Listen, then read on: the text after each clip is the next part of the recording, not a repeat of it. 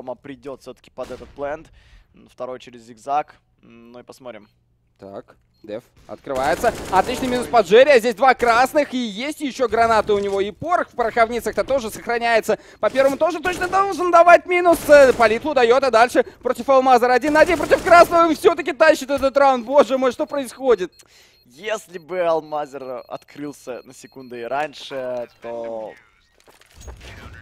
То он бы забрал просто. Просто, ну, видел, как дергался очень сильно Деф? Он вроде как увидел модельку в пленте при вот во время этого... Вот, вот, вот. Да, и он понимает, что его сейчас начнут разводить на две